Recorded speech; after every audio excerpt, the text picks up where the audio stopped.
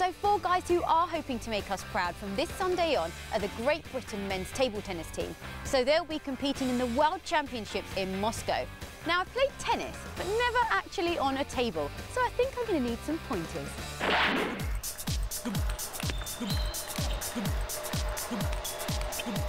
I'm Andrew Baggaley, I'm 27 years old, I'm the triple English champion and my favourite shot is the backhand punch. Hi, I'm Paul Drinkhall, 20 years old, British number one. My favourite shot is a forehand flick. Hi, I'm Liam Pitchford, I'm 16 years old, senior British champion, and my favourite shot is a backhand topspin. Hi, I'm Danny Reed, I'm 20 years old, currently ranked number three in England, and my favourite shot is the backhand attack. We've got a great chance at the World Championships this year and we're in the second category at the moment and our aim is to get into the top category. So in our group we've got Slovakia, they're the strongest team. They've got players ranked above us, but they're not, none of them are unbeatable. So that's the big target for our team. I think we've got a very strong team um, and we work together well, we're training together well. I really think we can, we can get up to that first category and then next time round we'll be up there with the big boys. I've been playing for 10 years.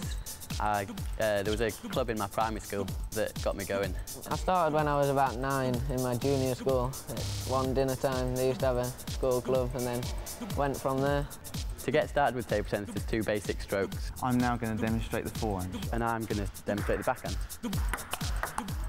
Okay, at the moment now I'm playing the forehand shot. I'm keeping my body very low as you can see, turning my shoulders side on.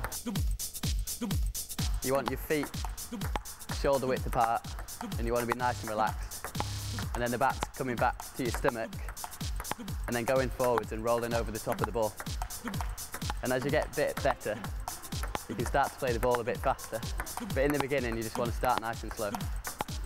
The shot I'm going to show you is the backspin serve. I try and use this in the game so the other person pushes out and I'll spin up first. Start with a flat hand, ball on the palm. Um, you've got to throw the ball up from behind the white line and contact the ball behind the white line. Um, and you've got to throw it up at least six inches and in a straight line.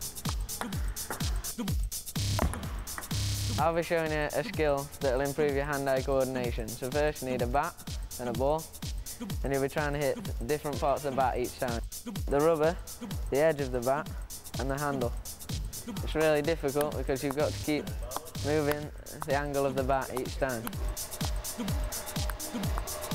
To be a great table tennis player, You've got to love the game. You've got to really love it and you've got to be dedicated to be able to get up every day.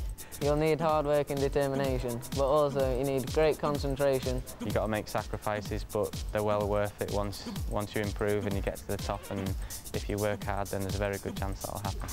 Thanks for the chat, guys.